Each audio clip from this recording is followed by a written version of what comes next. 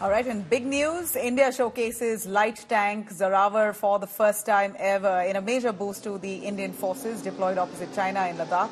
The DRDO and the LNT have started trials of this indigenous light tank Zorawar. Those are the first images that have been released in Gujarat. Light in weight, easier mobility.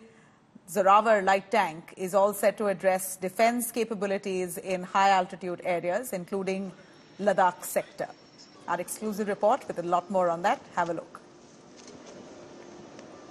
Ladakh में चीन की बढ़ती हिमाकत से निपटने के लिए भारतीय सेना के पास एक नया लाइट टैंक जोरावर आ गया है, जिसको हम आपको आज तक पर एक्सक्लूसिव तस्वीरें दिखा रहे हैं पिछले दो साल से डीआरडीओ और लार्सन एंड ट्यूब्रो इसे तैयार कर रहा था इसके फ़ील्ड ट्रायल शुरू हो गए हैं और आप देखिए, ये एक्सक्लूसिव तस्वीरें हैं, किस तरह से ऊँचे पहाड़ी इलाकों में ये काम करेगा। 25 टन वज़न का ये लाइट टैंक है, जो पहली बार भारतीय सेना के लिए बनाया गया है।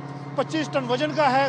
और इसमें देखें 155 मिलीमीटर की गन लगी हुई है और इस तरह से यहाँ पर जिस तरह से रैम पर ये जा रहा है, इसी तरह से ऊँचे पहाड़ी इलाकों में ये खासतौर से लद्दाख में चीन से मुकाबले के लिए तैयार किया गया है, क्योंकि गलवान की खूनी भिड़ंत के बाद चीन ने अपने टी फिफ्टीन टैंकों को भारतीय सेना के खिलाफ तैनात किया था और उसी को देखते हुए भारतीय सेना को इस लाइट टैंक जोरावर की ज़रूरत पड़ी थी।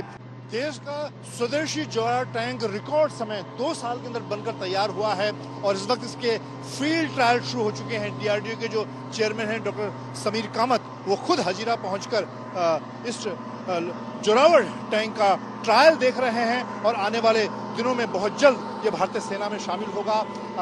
लद्दाख से लेकर अरुणाचल जैसे इलाकों में इसके फ़ील्ड ट्रायल किए जाएँगे और ये पहली बार है जब इस वक्त जब देश और दुनिया में युद्ध के हालात हैं, भारतीय सेना के लिए डीआरडीओ ने एक देश की एक स्वदेशी कंपनी के साथ मिलकर ये लाइट टैंक तैयार किया है।